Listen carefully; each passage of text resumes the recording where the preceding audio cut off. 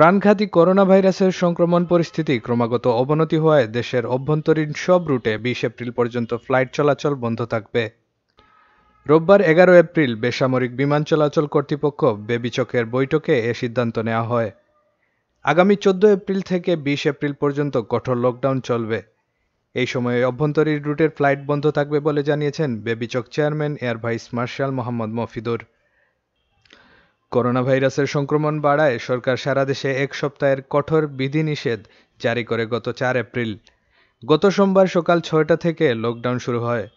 এক সপ্তাহের ডিলেটালা লকডাউন শেষ হচ্ছে আজ। আগামী চোদ্দ এপ্রিল থেকে এক সপ্তাহের জন্য সারা দেশে সর্বাত্মক লকডাউন ঘোষণা করলেন সড়ক পরিবহন ও সেতুমন্ত্রী ওবায়দুল কাদের।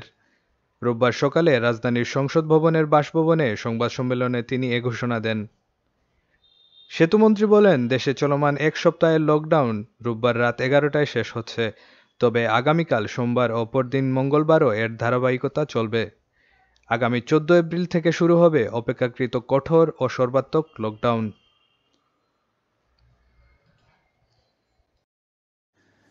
লন্ডন থেকে প্রচারিত অতি প্রবাসীর কণ্ঠস্বর বায়ান্ন বাংলা। বায়ান্নের রক্তস্নাত প্রতিশ্রুতি আমাদের স্পন্দন। মহান মুক্তিযুদ্ধ আমাদের চেতনার উৎস। বাহান্ন বাংলা টিভি। বাংলা সংযোগ দেশে দেশে। Connecting Bangla globally